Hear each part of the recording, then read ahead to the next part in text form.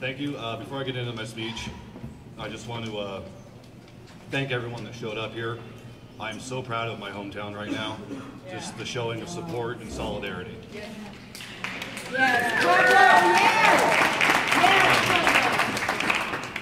I'm a member of the uh, atheist community of Colorado Springs and Pueblo. Live here in Pueblo. Now can you hear me? Yes. All right. Um, I'm a member of the atheist community of Colorado Springs and Pueblo. I live here in Pueblo. Been here my entire life. We have members that have come down all the way from Castle Rock by way of California to show their support for what we're doing here. I ask you to bear with me. I'm not a public speaker, so this might be a little rough. we stand here today at Pueblo united by higher ground, love. We stand united besides our differences. Different economic standings, different faiths and beliefs, differences in the color of our skin and sexual preferences, believing in one God, different gods, and no gods. We stand unified against hate.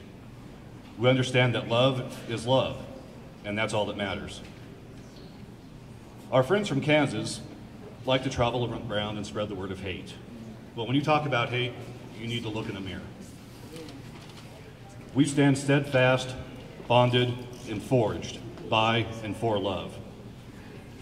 They yell that it's unnatural, that it's an abomination, yet homosexuality has been recorded in over 1,500 different species around the world. But there's no hate or malice in their world, only ours only by people like them. So I wonder, doesn't that make hate unnatural and an abomination? Homosexuality is also well documented in a couple of species that differ from us by just over 1%, the chimpanzee and bonobo apes. Yet, those of us, like those of us that are here celebrating love, they also show other human characteristics compassion, equality, understanding, and love.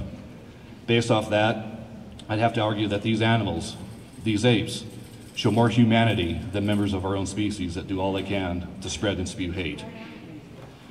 In closing, I invite our friends from Kansas to do something that the universe has done for billions of years, life has done for millions of years, and society as a whole has done for thousands of years evolve.